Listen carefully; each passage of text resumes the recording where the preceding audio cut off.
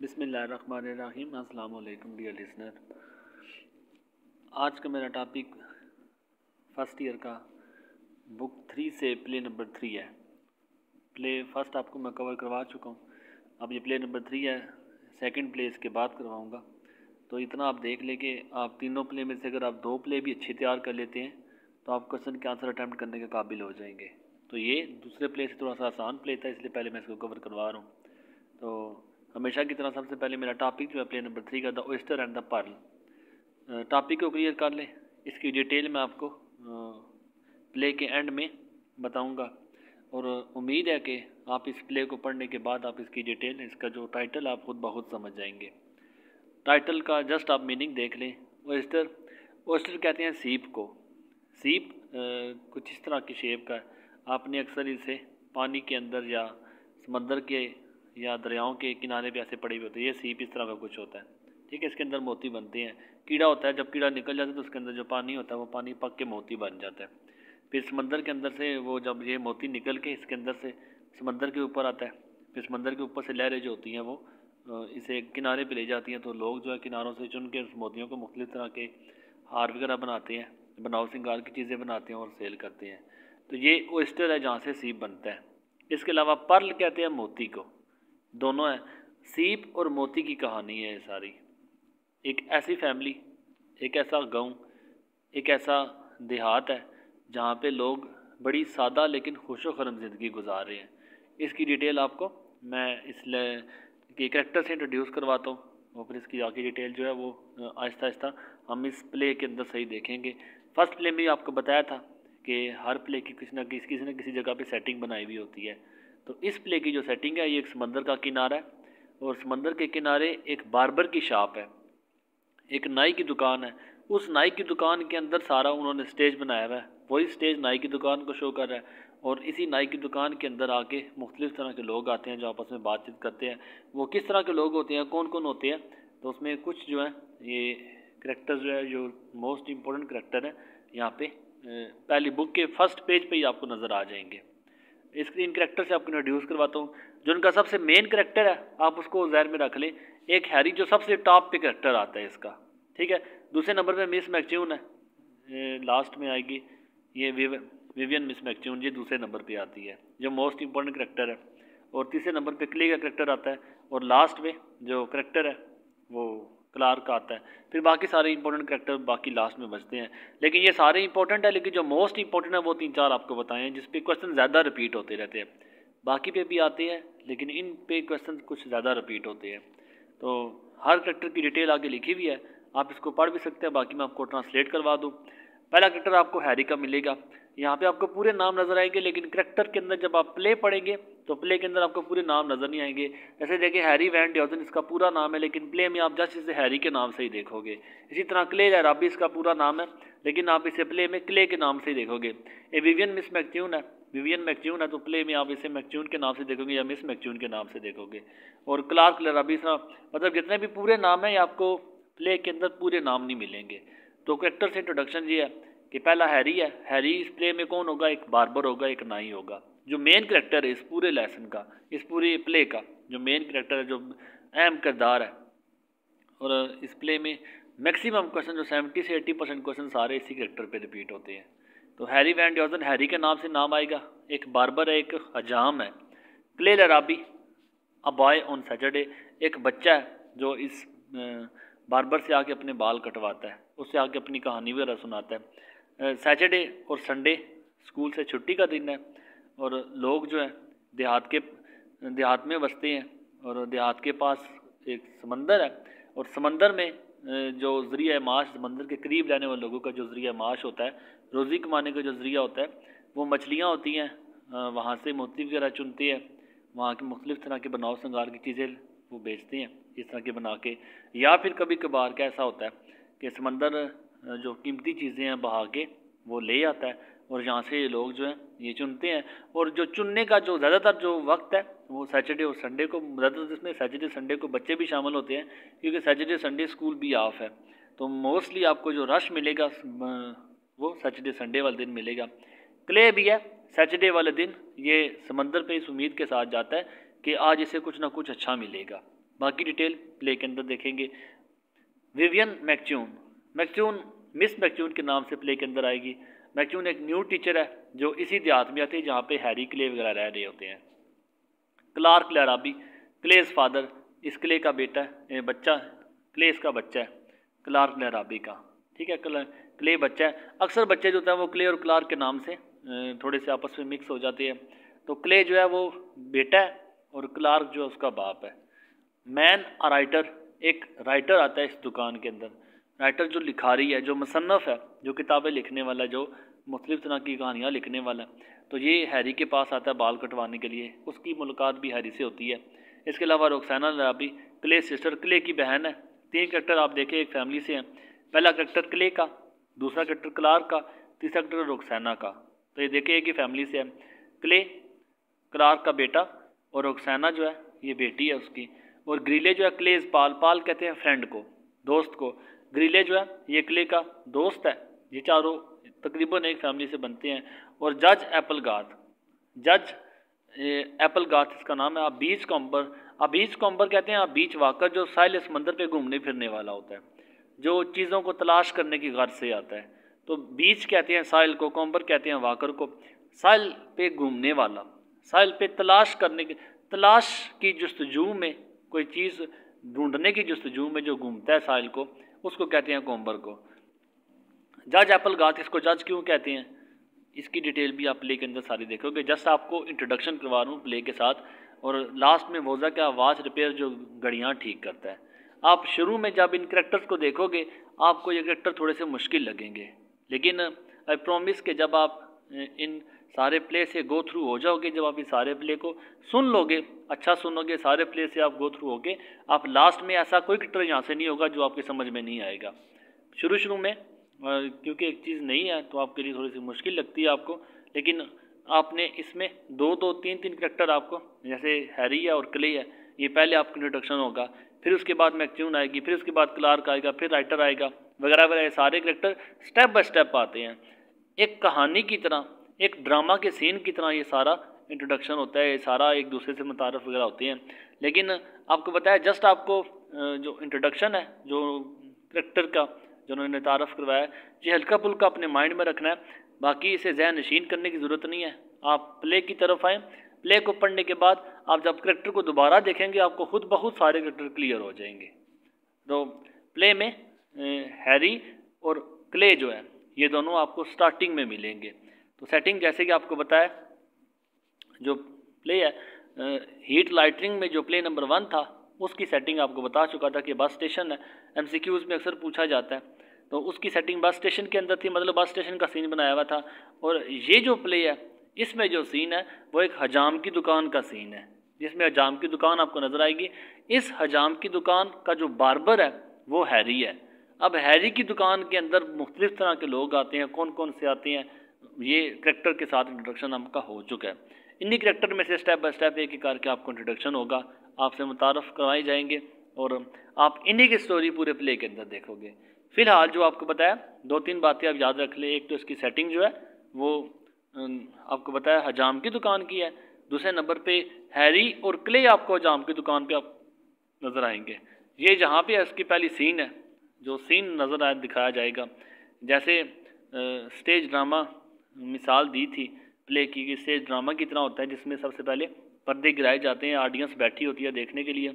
और एक ड्रामा फिल्माया जाता है, एक सीन एक क्लिप एक प्ले फिल्माया जाता है स्टेज के ऊपर। जिसमें करेक्टर स्टेप बाय स्टेप आते हैं और अपनी परफॉर्मेंस करने के बाद एक स्टोरी एक थीम देते हैं और जब ये कंप्लीट होता है तो वहाँ से वो निकल जाते हैं। पर्दे उठाए जाते हैं करेक्टर आपको नज़र आएँगे बातें करते हुए एक स्टोरी चलेगी, फिर उसके बाद जब ये स्टोरी एंड हो जाएगी तो पर्दे दोबारा से गिरा दिए जाते हैं सीन एंड हो जाता है। अब ऐसे ही आप समझ लें कि सिनेमा में आप बैठे हुए हैं और मूवी चल रही है, और जब मूवी ख़त्म होती है तो सिनेमा भी क्लोज हो जाता है। लेकिन सिनेमा में जो मूवी चल रही होती है, वो स्क्रीन पे चल रही होती है। यहाँ पे जो मूवी चल रही होती है, वो लाइव चल रही होती है। यहाँ पे जो ड्रामा आपको दिखाया जा रहा है, वो लाइव ड्रामा दिखाया जा रहा है, जिसमें करेक्टर बाकायदा तौर पर स्टेज पर आते हैं और परफॉर्मेंस करते हैं। तो उम्मीद करता हूँ कि आप इसकी सेटिंग आप हीट लाइटरिंग में भी समझ चुके होंगे। तो यहाँ पे सेटिंग आपने याद रखनी है बारबर की सेटिंग है, हजाम की दुकान की सेटिंग है, और इस हजाम की दुकान में जो हजाम है वो हैरी है। तो प्ले स्टार्ट करते हैं। Harry Van Dusen barber shop in Okay by Sea. Okay by Sea उस जगह का नाम है, जिस जगह पे हैरी बिलोंग करता है, जिस जगह पे आपको प्ले पढ़ने लगे हैं। Okay by Sea California state है पॉपुलेशन 909 अब ऐसे समझ कि आप अमेरिका अमेरिका अमेरिका से आगे जो उसका प्रोविंस है वो कैलिफ़ोर्निया है, अब कैलिफ़ोर्निया से आगे एक देहात है, एक जगह का नाम है ओके बायदासी ये इस तरह अमेरिका से कैलिफ़ोर्निया कैलिफ़ोर्निया से ओके बायदासी है। तो ओके बायदासी जगह का नाम है कैलिफ़ोर्निया की स्टेट है। पॉपुलेशन 909 एमसीक्यूज में बहुत दफ़ा पूछा गया ये वाला। ठीक है पॉपुलेशन 909 909 पॉपुलेशन है ओके बाय द सी की। The sign on the window says जो विंडो जो खिड़की अक्सर दुकान के बाहर बोर्ड लगा हुआ था, उसी की बात की जा रही है कि विंडो पे जो साइन जो इलामत ज़ाहिर की गई है, जो लिखा गया इस विंडो पे हैरी वैन ड्योजन बारबर अब यहाँ पे ऐसे विंडो जो दुकान है दुकान के यहाँ पे जो तख्ती लगी हुई है, वो हैरी वैन ड्योजन बारबर हजाम की तख्ती लगी हुई है। It is an old fashion shop ये एक पुराने तर्ज की दुकान है। क्राउडेड विद स्टफ़ क्राउडेड है। विद स्टफ़ ऐसी स्टफ़ थिंग्स ऐसी चीज़ों से भरा हुआ है। Not usually found in barber shop जैसे कि दुकान के ऊपर लिखा हुआ है कैरी वैन डजन बार्बर हजाम की दुकान है। लेकिन राइटर कहता है कि यहाँ पे आपको ऐसा स्टफ़ मिलेगा, ऐसी चीज़ें मिलेंगी जो आपको बार्बर की शॉप में नहीं मिलेंगी। मतलब बार्बर की शॉप में कैंचियाँ होंगी बार्बर की शॉप में कंगियाँ होंगी बार बार्बर की शॉप में उस ब्लेड वगैरह का काम है। ये बार्बर की शॉप के अंदर शेविंग क्रीम वगैरह लेज़र ये सारी बार्बर की मुतलका चीज़ें हैं। लेकिन जो चीज़ें राइटर बताएगा वो राइटर कहता है कि कुछ चीज़ें हैरी की शॉप में कुछ ऐसी थी कि जो बार्बर की शॉप से तलक नहीं रखती, लेकिन हैरी ने उनको अपनी दुकान में रखा हुआ था। क्वेश्चन भी आता होता है, इसलिए आपको इसके बारे में डिटेल से बता रहा हूँ।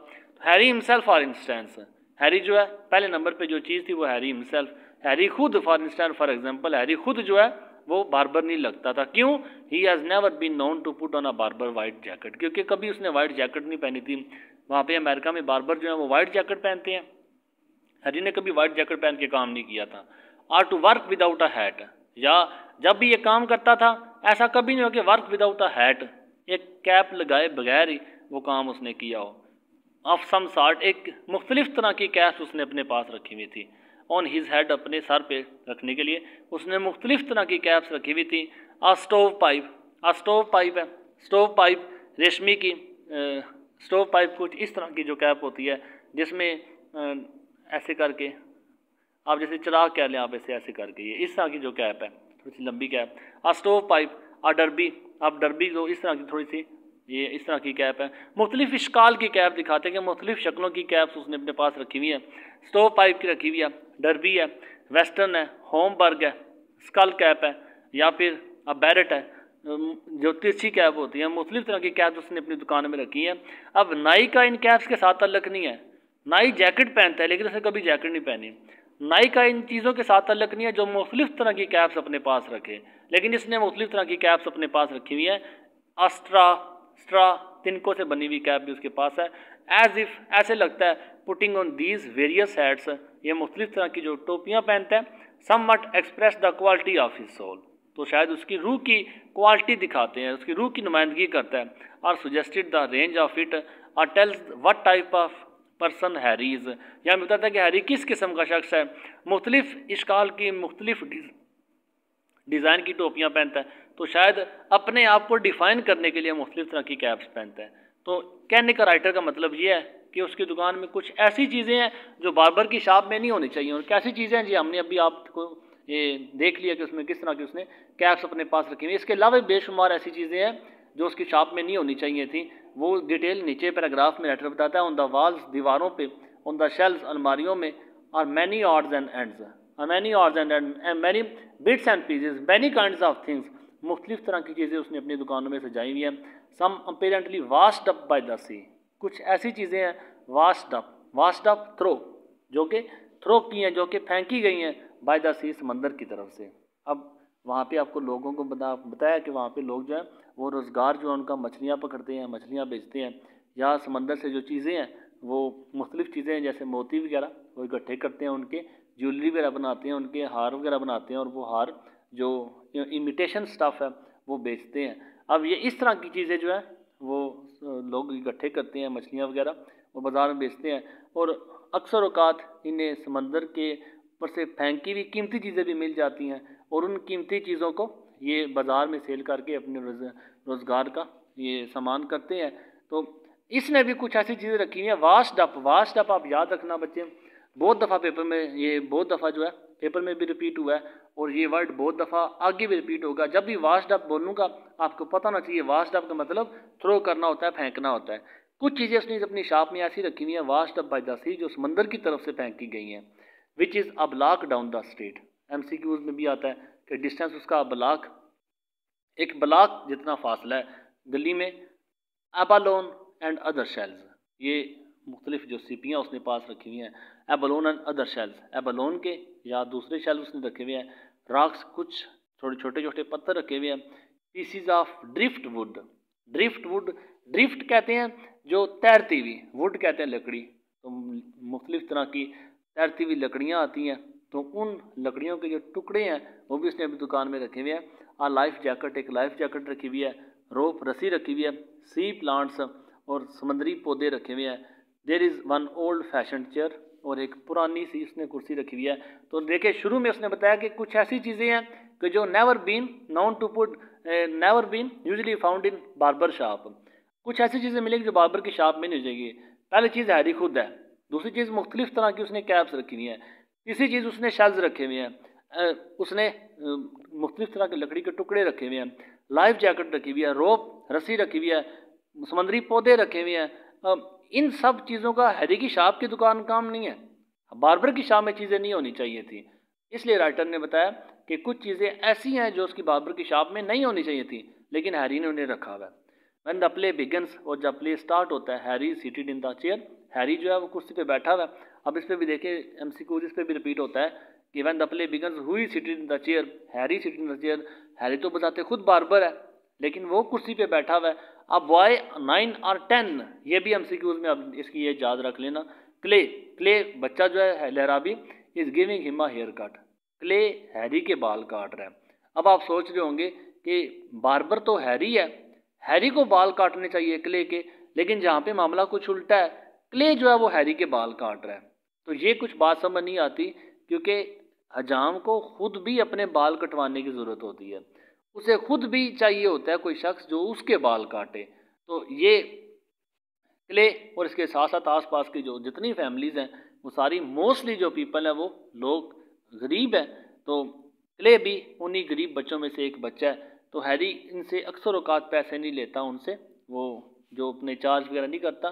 तो इसके बदले में वो क्ले को ये कह के मुतमिन कर देता है कि मैं आपके बाल काट देता हूँ, आप मेरे बाल काट देते हैं तो ये मामला बराबर हो जाता है। इसलिए जो क्ले है, वो हैरी के बाल काट रहा है यहाँ पे। Giving him haircut Harry is reading a book Harry किताब पढ़ रहा है। One from many in the shop वो किताब जो उसकी किताब में उसकी दुकान में बेशुमार किताबों में से एक किताब है। हैरी वो रीड कर रहा है। Clay well I did what you told me Clay, मैंने कर दिया। वट यू टोल्ड मी जो तुमने मुझे कहा था। जो आपने मुझे कहा था, मैंने कर दिया। मिस्टर वैन ड्योजन उसका पूरा नाम लेता है, हैरी वैन आई होप मुझे उम्मीद है इट इज़ ऑल राइट ये ठीक का, बाल काटे होंगे। आई एम नो बार्बर मैं कोई बार्बर तो नहीं हूँ। दो अगरचे he begins to comb hair comb the hair comb कंगी करना शुरू कर देता उसके बालों में। Harry you just gave me a haircut did not you you just gave me a haircut तुमने सिर्फ़ मेरे बाल काटे हैं। मैंने तुम्हें ये कोई किसी किस्म की कटिंग नहीं मांगी थी, कोई फ़ैशन नहीं मांगा था। बस मैंने कहा था, मेरे बाल काट दो। तो you just gave me haircut तुमने मेरे पास बाल काटे हैं। डिड नॉट यू क्या ऐसा नहीं किया? आई डोंट नो मुझे नहीं पता। What you would call it कि मेरी स्कर्ट को तुम क्या नाम दो? You you want to look at it in the mirror you want to look तुम देखना चाहोगे at it in the mirror mirror में से देखना चाहोगे? He holds out a small mirror तो वो उसके सामने एक छोटा सा शीशा रखता है। हैरी नो थैंक्स नहीं, शुक्रिया। I remember the last one मुझे वो लास्ट वाली याद है, मुझे वो पिछली कट याद है, जो आपने मेरी की थी। क्ले आई गेस मेरे ख्याल में I never be a barber मेरे ख्याल में कभी मैं हजाम नहीं बन सकूँगा। हैरी मे बी नाट शायद नहीं। One of on the other hand लेकिन दूसरी तरफ़ you may turn out to be the one man you may turn out you may change you may transform तुम बदल जाओ, शायद तुम you may become the one man एक ऐसे आदमी बनो hidden away in the junk of the world junk mean trash junk mean rubbish जो इस दुनिया के कूड़ कबाड़ में छुपा हुआ शख्स है, जो इस दुनिया के गंद में एक अच्छे शख्स के तौर पे तुम शायद निकल के आओ who will bring merriment who will bring merriment who will bring cherish who will bring mirth M I R T H who will bring happiness who will bring merry M A double R Y जो खुशी का बायस बने to the tired old human heart tired थके हुए old बूढ़े human heart इंसानी दिल के लिए तो मे भी, शायद कि तुम एक बारबर ना बनो, लेकिन एक ऐसे शख्स के तौर पे सामने आओ कि जो दुनिया के, जो जितना कूड़ कबाड़ है, जितना कूड़ा क्रिकेट है, इस कूड़े क्रिकेट में तुम एक अच्छे इंसान के तौर पे सामने आओ, जो एक बूढ़े, थके इंसानी दिल के लिए बायस रहमत, बायस बख्शिश या बायस सवाब के तौर पे आए, जो खुशी का बायस बने एक बूढ़े शख्स के लिए। इसके थोड़ा से बैकग्राउंड में आपको बताता चलूँ कि इसकी एक माँ क्ले की माँ जो है, वो क्ले चाहता है कि उसकी माँ को जो है, वो अपनी माँ को जितना सुकून, जितना सुख, जितनी खुशी दे सके, वो अपनी लाइफ में दे। तो ये इस एज में भी, नाइन और टेन ईयर ऑफ़ एज में भी, वो अपनी माँ का, अपने माँ बाप का काफ़ी ख्याल रखता है। कितना ख्याल रखता है वह आपको, वक्त के साथ साथ इस प्ले में पता चल जाएगा। प्ले हु, कौन, मी, मैं, हैरी, वाई नॉट? हाँ क्यों नहीं? प्ले मैरीमेंट हैप्पीनेस मैं मिर्थ मैं खुशी लाऊँगा। To the tired old human heart एक थके इंसानी दिल के लिए मैं बायस रहमत हूँगा how do you do that how do you say that आप कैसे ऐसा कह सकते हैं? अब आप कैसे ऐसा करेंगे? उससे पूछ रहा है कि अगर आप किसी इंसानी दिन के लिए खुशी का बायस बने तो आप कैसे कह सकते हैं कि कोई इंसानी दिल के खुशी का बायस कैसे बन सकता है? कैसे इंसानी दिल खुश हो सकता है? कहता, कुछ दिल होते हैं कंपोज आ सिम्फनी कुछ को सिम्फनी कुछ को गीत कंपोज करके, कुछ को गीत लिख के उन्हें सुकून मिलता है। पेंट अ पिक्चर कुछ जो है तस्वीरें बनाते हैं राइट अ बुक कुछ किताबें लिख के सुकून लेते हैं इन्वेंट ऑफ़ फिलासफी या कुछ जो है जिनकी अपने रूल्स होते हैं, अपनी रेगुलेशन होती हैं, अपने वो लाज होते हैं उनके। कुछ जो है वो अपनी फिलासफियाँ रखते हैं, कुछ अपने कानून रखते हैं। हैरी नॉट मी इनमें से एक भी मेरा नहीं है। ना तो मैं कोई गीत बनाता हूँ, ना कोई मैं पेंटर हूँ, ना ही को मैं बुक लिखने वाला हूँ, ना ही मेरे कोई रूल है। Did you ever do stuff like that did you ever do work like that क्या आपने कभी ऐसा इनमें से कोई काम किया है? हैरी आई डिड मैंने किया है। Play what did you do आपने क्या किया है? इन्वेंटेड आ फिलासफी मैंने एक फिलासफी इन्वेंट की है। मैंने अपना एक रूल मैंने बनाया है। आपको शुरू शुरू में शायद प्ले थोड़ा सा मुश्किल लगे, लेकिन आप अगर एक दो पेज इसके सिर्फ़ सुन लेना थोड़ी सी कहानी आपकी स्टार्टिंग है, इस कहानी को आप सुनते जाएँ, आप इन ताला, आप इस कहानी में बोर नहीं होंगे। फ़र्स्ट पेज है थोड़ा सा फोर प्ले होता है थोड़ा सा इसमें थोड़ी सी बिगनिंग में थोड़ी स्टार्टिंग है, समझने में थोड़ा सा टाइम लगेगा। लेकिन एक दो प्ले के बाद आपको कहानी पूरी समझ आएँगी। आप इसको खुद ब खुद इंटरेस्ट के साथ पढ़ना शुरू करते हैं। तो कहता है, मैंने अपना एक रूल बनाया है। वाट इज़ डैट वो क्या रूल है? आ वे टू लिव जीने का एक रूल मैंने बनाया है। Play what did what way did you invent कौन सा आपने रूल बनाया? The take it easy way take it easy हमेशा सुकून में रहना है। कोई टेंशन नहीं लेनी मैंने, बस ये सुकून में रहना है। जो कुछ मर्ज़ी हो जाए, लेकिन मैंने टस से मस नहीं होना, मैंने सुकून में रहना है। That sound pretty good that appears pretty good that looks pretty good आपका ये रूल बड़ा ज़बरदस्त लगता है, बड़ा अच्छा लगता है। All philosophy sound good all rules sound good सारे रूल्स अच्छे होते हैं। The trouble with mind was तो मेरे साथ मसला ये है। आई केप्ट फॉरगेटिंग मैं फॉरगेट मैं भूल जाता हूँ। टू टेक इट ईजी कि मैंने ईजी रहना था। मैं सुकून में रहना भूल जाता हूँ। अनटिल वन डे एक दिन, अब यहाँ से अपनी वो कहानी का आगाज़ करता है कि वो कैसे इस हजाम की शाप में कैसे आया, कैसे वो बाबर बना, क्या कुछ इसकी लाइफ में पीछे क्या साहब, कितने अरसे से वो यहाँ पे वगैरह वगैरह, यहाँ से अपनी ज़िंदगी का आगाज़ करता है, कहता है, the day I came off the highway. एक दिन, अब एक बात आपको बताता चलूँ कि जो बारबर की शाप है, ये बारबर की शाप के सामने यहाँ से हाईवे, यहाँ पे रोड गुजर रही है। अब इसकी शाप के सामने यहाँ से सड़क गुजर रही है तो कहता है, कुछ ऐसा था कि एक दिन I came off the highway, मैं इस हाईवे पे, इस रोड पे आया, I came off the highway, इस हाईवे पे आया। मैं रोड पे आया इनटू बार्बर शॉप और यहाँ से मैं सीधा इस बार्बर की शॉप में आ गया। द बार्बर टोल्ड मी तो बार्बर ने मुझे बताया the shop pass for sale इससे पहले कोई और बार्बर था। तो ये हैरी उसके पास आता है। तो वो बार बार इसे कहता है the shop was for sale जो मेरी शॉप है फॉर सेल ये फरोख्त के लिए है। मैं इसे बेचना चाहता हूँ। आई टोल्ड हिम हैरी कहता है कि मैंने उसे कहा I had to my name was eighty dollars फ़िलहाल मेरे पास एटी डॉलर्स हैं। हैरी उसे बता रहा है कि मेरे पास अस्सी डॉलर हैं। He sold me the shop for seventy five ये छोटी छोटी बातें अपने एम के लिए इंपॉर्टेंट है कि हैरी के पास कितने डॉलर थे और जो दूसरा बारबर था उसने शॉप कितने में सेल की। He sold the me the shop उसने ये शॉप मुझे सेल कर दी for seventy five seventy five dollar में उसने मुझे सेल कर दी and through in the hair cut and entered in the hair cut और तब से मैं इस हेयर कट की फ़ील्ड में आ गया हूँ। I have been here since और तब से मैं इसी जगह पे हूँ।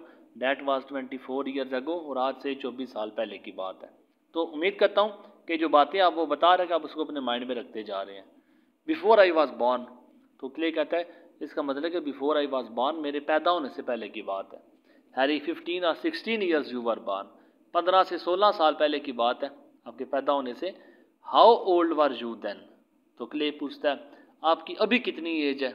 हैरी ओल्ड एनफ मैं इतना बूढ़ा हो गया हूँ, इतना मैं समझदार हो गया हूँ टू नो कि मैं जान जाता हूँ अ गुड थिंग एक अच्छी चीज़ को वैन आई साइड जब मैं उसे देखता हूँ, कि मुझे देखते साथ एक चीज़ की पहचान हो जाती है कि ये चीज़ अच्छी है या बुरी है, ये इंसान अच्छा है या बुरा है, देख के मैं परख लेता हूँ, इतना मैं हो गया हूँ वाट डिड यू सी तो आपने क्या देखा? ओके बाय द सी, मैंने इस ओके बाय द सी को देखा, मैंने इस गाँव को देखा and this shop okay by the sea और दिस शॉप इस शॉप को देखा the proper place for me to stop. तो ये जो जगह मेरे लिए प्रॉपर प्लेस, अच्छी जगह थी टू स्टॉप स्टॉप रुकने के लिए। That's a couplet that's a couplet couplet कहते हैं शेर को। देखो, मैंने शेर भी कह दिया। बातों बातों में मेरे मुँह से शेर भी निकल गया। कैसे? आप इसको देखिए राइम हो गया दोनों की। Okay by the sea and this shop the proper place for me to stop last last को देखें शार्प एंड स्टॉप तो इन दोनों से कहता है कि देखो, मैंने बात बात में शेर ही कह दिया, मैं शायर बन गया हूँ। Shakespeare had used them at the end of a scene Shakespeare father of drama father of English literature माना जाता है। इंग्लिश आप इसे आसान अल्फाज में कह लो कि इंग्लिश में ये फादर माना जाता है। इंग्लिश राइटिंग में इसका बहुत बड़ा नाम है। तो कहता है शेक्सपियर जो है, इन इन कपलेट को, इन शेरों को बड़ा यूज़ करता था अपने सीन में, अपने जो राइटिंग में। सो आई गैस चलो इधर उधर की बातें छोड़ो आई गैस मेरे ख्याल में that's the end of this hair cut तो मेरी जो हेयर कट है, उसका एंड हो गया, उसका खात्मा हो गया। He gets out of the chair वो कुर्सी से उठता है। The hat tree goes to the hat tree hat tree अब शुरू में बताया सीन में कि मुख्तु तरह की कैप्स उसने रखी हुई है। तो हैट ट्री उन कैप्स ट्री के पास जाता है and puts on a derby और वहाँ से डरबी जो कैप है, जो डरबी शेप में है, जो आपको बताया था, जिस तरह बिल्ली के कान होते हैं, कुछ ही शेप की, अब यहाँ से ये कैप उठाता है और ये कैप अपने सर पे पहन लेता है। Clay I guess I would never get a hair cut मेरे ख्याल में I would never get a hair cut मैं कभी हेयर कट ना कटवा सकता if you are not in town अगर आप कस्बे में ना होते, अगर आप इस विलेज में ना होते तो शायद मैं कभी बाल ना कटवा सकता. Mister Van Deusen Harry nobody would कोई भी ना कटवा सकता. Since I am the only barber how many barbers are there in okay by the sea Harry is the only barber in okay by the sea only अकेला barber है. इसका मतलब है कि ओके बाय द सी में Harry के अलावा और कोई बार्बर नहीं है। कहता है, अगर मैं ना होता तो कोई भी ना कटवा सकता। Clay I mean free of charge मेरा मतलब मुफ़्त के बाल था। Harry I give you a hair cut free of charge you give me a hair cut free of charge that is fair and square तो मैं आपके बाल काट देता हूँ। आप मेरे बाल काट देते हैं। फेयर एंड स्केयर इक्वल मामला बराबर हो गया। क्ले यस हाँ but you are a barber लेकिन आप तो एक हजाम है। You get a dollar a hair cut अब देखो how much Harry charge for a hair cut a dollar a dollar एक डॉलर वो चार्ज करता है। क्ले उसे कह रहा है, आप एक हजाम है। आपको एक डॉलर मिलता है बाल काटने का। Harry now and then I do now and then I don't कभी कभार now and then I do now and then I take now and then mean sometimes I take sometimes I take कभी कभार मैं charge कर लेता हूँ now and then I don't कभी कभार मैं नहीं लेता। देख के अगर गरीब है तो गरीबों से पैसे नहीं लेता। जो दे सकता है, उसे एक डॉलर ले लेता है। Clay well anyhow thanks a lot आपका बहुत शुक्रिया। I guess I will go down to the beach now तो मेरे ख्याल में बीच साइल S H O R E shore भी आप याद रख लें। साइल समंदर मेरा ख्याल है, मैं साइल समंदर की तरफ़ जाऊँ। And look for the stuff look for the stuff और जाके मैं कोई चीज़ ढूंढूँ। जैसे आपको बताया, समंदर में चीज़ें ढूँढने के लिए जाते हैं। इनका ज़रिया माश समंदर ही है। तो Harry I would go with you मैं भी आपके साथ चलता but I am expecting a little Saturday business तो आपको पता है, आज सैटरडे है तो सैटरडे में मैं बिज़नेस कुछ कारोबार की, कुछ मैं गाहकों की तो रखता हूँ। This time I am going to find something real good I think मेरे ख्याल में जो क्ले कहता है, आप सोच देखें, गरीब की सोच हमेशा ख्वाब बुनने में ही होती है। अब क्ले भी यहाँ पे ख्वाब बुन रहा है कि डैट दिस टाइम अब की बार I am going to find something real good मुझे लगता है कि I am going to find something real good अभी मुझे कुछ अच्छा मिलेगा। आई थिंक मेरे ख्याल में Harry the sea washes off good pretty thing that at that does not it washes off आपको पीछे मैं बता चुका हूँ वाशिज ऑफ़ मीन थ्रो करना। हैरी कहता है सी जो समंदर है वाशिज ऑफ़ थ्रो ये फेंकता है। सम प्रिटी गुड थिंग्स ये अच्छी चीज़ें आजकल फेंक रहे हैं। डज नॉट इट क्या ऐसी बात नहीं है कि समंदर से अक्सर कीमती चीज़ें मिल जाती हैं। Clay it sure does it sure does it sure throw यकीनन ये थ्रो करता है। यकीनन ये ऐसा करता है एक्सेप्ट मनी एक्सेप्ट सिवाय मनी पैसे के। समंदर कीमती चीज़ें फेंकता है, लेकिन पैसे नहीं फेंकता। Harry what do you want the money for why Clay needs money Clay को पैसे क्यों चाहिए थे? Why Clay needs money Clay को पैसे क्यों चाहिए होते हैं? थिंग्स आई नीड क्ले कहता है आई थिंग्स आई नीड मेरी कुछ ज़रूरियात है. वट डू यू नीड आपको क्या चाहिए? I want to get my father to come home again अब देखें क्ले को रकम क्यों चाहिए थी? Why Clay needs money why did Clay need money तो क्ले को रकम क्यों चाहिए थी?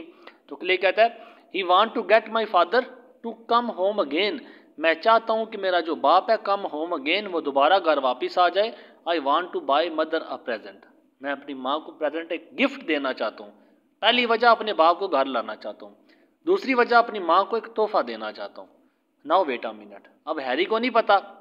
क्लार्क जो क्ले का बाप है क्लार्क हैरी का अच्छा दोस्त भी है। अक्सर ये आपस में मिल के ये फिशिंग के लिए जाते रहते हैं।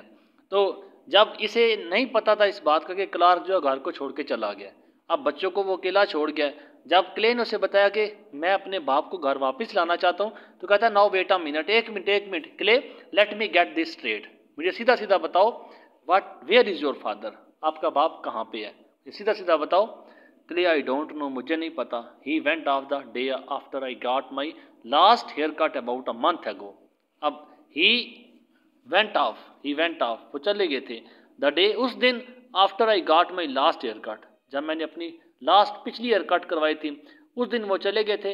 अबाउट अ मंथ अगो तकरीबन एक माह पहले की बात है।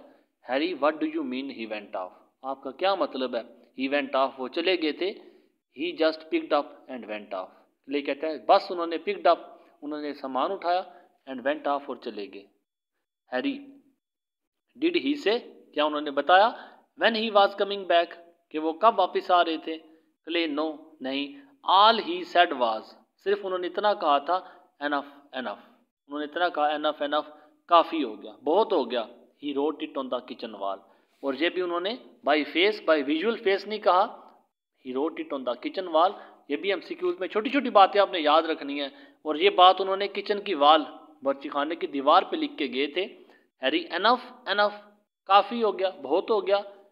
ले yeah gee we all thought he would be back in a day or two हम सबने भी यही सोचा था कि एक दो दिन में वापस आ जाएँगे बट नाउ लेकिन अब वी नो अब हमें पता चल गया we have got to find him अब हमें इनको तलाश करना है एंड ब्रिंग हिम बैक और इनको घर वापस लाना है। रे how do you expect to do that तो आप कैसे एक्सपेक्ट कैसे उम्मीद करते हैं टू डू डैट ऐसा करना कि आपका बाप घर वापस आ जाएगा। आप उसे घर वापस कैसे लेके आओगे? आपके माइंड में क्या तरीका है? Clay well we put an ad in the okay by the sea हमने एड एक इश्तेहार दिया in the okay by the sea okay by the sea the girl ये what was the name of the newspaper of okay by the sea the okay by the sea girl ये newspaper का नाम है, जो okay bye the सी के अंदर ही publish होता है। ओके बाय द सी के लोग इसे पढ़ते हैं। तो ये कहता है कि मैंने okay by the sea the girl में एक ऐड दिया। That comes out every Saturday that comes out every Saturday अब वो ऐड जो हर सैटरडे वाले दिन वो जो अखबार है, वो सैटरडे को पब्लिश होता है, ये भी अपने बात याद रखनी है कि ये अखबार सैटरडे को पब्लिश होता है। तो ये सैटरडे को पब्लिश होने वाला अखबार जो है, हमने वहाँ पे ऐड दिया ओपनिंग द पेपर पेपर को खोलते हुए दिस पेपर इस पेपर में but your father is not in town आपका बाप तो इस कस्बे में है ही नहीं है। तो न्यूज़ पेपर तो इसी कस्बे में पब्लिश होता है, जबकि आपका बाप तो इस कस्बे में है ही नहीं है। How will he see ad ad in this paper तो वो कैसे ऐड जो है इस पेपर में देखेंगे? Clay he might see it शायद के वो देख लें। एनी होता हम we don't know what else to do हमें इसके अलावा और कोई चारा नहीं था। We are living off the money living off mean थोड़ी रह जाना। लैक ऑफ़ मनी हमारे पास रकम थोड़ी रही है। We saved from the summer we worked वो रकम we saved from the summer जो हमने गर्मियों में बचाई थी वी वर्क जो हमने काम किया था। But there is not much left लेकिन अब वो रकम नॉट मच लेफ़्ट इतनी ज़्यादा नहीं बची। Harry the summer you worked गर्मियों में आपने काम किया था। क्ले या हाँ समर बिफोर लास्ट जो पिछली गर्मी है। Just before we moved here बिल्कुल तब की बात है। Just before we moved here जब हम यहाँ से हम गए थे वी पिक्ड कॉटन हमने कॉटन हमने कपास चुनी थी इन कर्न कंट्री कर्न देहात का नाम है कंट्री देहात मुल्क को नहीं कहते, यहाँ पे देहात को भी कहते हैं कंट्री तो कान देहात में हमने कपास चुनी थी my father my mother and me हम तीनों ने, मेरे बाप, मेरी माँ और मैंने। Harry indicating the paper paper की तरफ़ इशारा करते हुए वट डू यू से इन योर एड तो आपने इस एड में क्या कहा? क्ले लुकिंग एट इट इसकी तरफ़ देखते हुए वेल आई से तो मैंने कहा क्लार्क क्लार्क लराबी अपने बाप को मुखातब, ये उसका एड है? What was the ad given by Clay in the local newspaper the okay by the seagull. Okay by the seal में उसने जो न्यूज़ पेपर में क्या ऐड दिया था, उस ऐड को कहते हैं Clark Larrabee come home. Clark Larrabee घर वापस आ जाए। योर फिशिंग टैकल्स शायद उसकी लड़ाई जो थी, उसकी वाइफ के साथ लड़ाई हुई है। ये मछलियों के सामान पे हुई है। मछलियों का सामान आगे पीछे हुआ है। तो छोटी मोटी बातें, जब ज़रूरियात ज़िंदगी पूरी ना हो तो छोटी छोटी बातों पे झगड़ा शुरू अक्सर हो ही जाता है। तो शायद इसका सामान जो है वो आगे पीछे हो गया, चिड़चिड़ेपन की वजह से आपस में दोनों उलझ बैठे थे। तो इसकी वजह से जो उसका बाप था लड़ के घर से चला गया। तो कहता है, आपका जो फिशिंग टैकल्स है फिशिंग टैकल्स जो लगेज है, जो मछलियों वाला सामान है, इन द क्लोजेट वो क्लोजेट में, वो अलमारी में सेफ़ एंड साउंड बिल्कुल सही सलामत है। द फिशिंग गुड अबू फिशिंग्स गुड आजकल मछलियाँ बड़ी अच्छी आई हैं। प्लेंटी प्लेंटी नंबर ऑफ़ बेशुमार तादाद में। कैबाजोन मछली भी है पर्च भी है, एंड बास भी है। मुख्तलिफ़ तरह की इकसाम की मछलियाँ बता रहा है कि क्लार्क लराबी, जो वे उसके अबू हैं, फिशिंग गुड, मछलियाँ बड़ी अच्छी आई हैं। बेशुमार तादाद में कैबाजोन भी है पर्च भी है, बास भी है। Let bygones be bygones चलो let bygones be bygones forget the past J M C Qs में भी सिनोनिम्स में भी रिपीट होता रहता है। Let bygones be bygones forget the past माजी को भूल जाएँ। जो हुआ, सो हुआ। वी मिस यू हम आपको मिस करते हैं, हम आपका इंतज़ार करते हैं। मामा क्ले रुखसैना रफ्यूज़ा, क्लारा, अपने बहन भाइयों को और मामा को बता रहा है कि उनका नाम लेके हम सब आपको मिस करते हैं। Harry that is a good ad तो ये बड़ा अच्छा एड है। Clay do you think if my father reads it he will come home आपका क्या ख्याल है कि अगर मेरा बाप जो है, इसे पढ़ता है ही विल कम होम वो घर वापस आ जाएँगे? हैरी आई डोंट नो मुझे नहीं पता क्ले आई होप सो अब वो किसी तरह की उम्मीद भी नहीं देना चाहता। अब उसे इस बात का अंदाज़ा नहीं है कि क्ले जो है, वो इस बात पे उम्मीद बाँध ले कि उसका बाप इसके ख्याल में हरी के ख्याल में क्लार्क किस गाँव में है नहीं है। तो कैसे हैपनिंग है कि वो उसको ऐड को पढ़ लेगा? तो कहता है, मुझे नहीं पता, लेकिन मैं उम्मीद कर सकता हूँ। Clay yeah thanks a lot for the haircut haircut के लिए बड़ा शुक्रिया, mister Van Dijan mister Van Dijan haircut के लिए बहुत शुक्रिया। क्लेस गोज आउट क्ले चला जाता है। Harry takes off the derby removes the derby cap वो उस डरबी कैप को सर से उतारता है। लेदर्स हिज फेस लेदर वो क्रीम लगाना शुरू करता है अपने चेहरे पे and begins to shave with the straight edge razor उस तरह के साथ अपने चेहरे से शेव करना शुरू करता है। अ प्रिटी गर्ल एक खूबसूरत सी लड़की comes in to the shop उस शॉप के अंदर दाखिल होती है। Closing a colourful parasol parasol भी पर में रिपीट होता रहता है। पैरासोल जो रंगदार छतरी होती है, जो धूप से बचने के लिए यूज़ की जाती है। छोटी सी छतरी जो धूप से बचने के लिए लोग यूज़ करते हैं, उसे पैरासोल कहते हैं। अम्ब्रेला आपको बारिश से बचाती है। धूप से बचाती है, लेकिन अम्ब्रेला का काम ज़्यादातर ये मोटी छतरी होती है, बारिश से बचाती है। लेकिन पैरासोल जो धूप के लिए ज़्यादातर यूज़ की जाती है। तो खूबसूरत सी पैरासोल जो अम्ब्रेला है, वो क्लोज करती है। She has long blonde hair अब उसके ब्राउन हेयर उसके बुरे बाल थे। यहाँ तक पार्ट वन में आपको मैं यहाँ तक कराऊँगा इन ताला, जो नेक्स्ट इसका जो पार्ट है, उसमें आपको इसके प्ले की डिटेल आहिस्ता आहिस्ता साथ जाऊँगा। प्ले काफ़ी लेंथी है तो मैं नहीं चाहता कि इसे एक वीडियो में काफ़ी लेंथी वीडियो हो जाएगी। डिटेल बतानी पड़ जाती है तो इसे मैं मुख्तलिफ़ पार्ट्स में कवर करूँगा। तो उम्मीद करता हूँ कि जो एक फ़्लो था मेरा, जो मैं स्टार्टिंग थी उसे मैं स्टार्ट देने में कामयाब हुआ हूँ। इन ताला आपसे पार्ट टू में मुलाकात होती है। दुआओं में याद रखिएगा। अल्लाह हाफिज़। अस्सलाम वालेकुम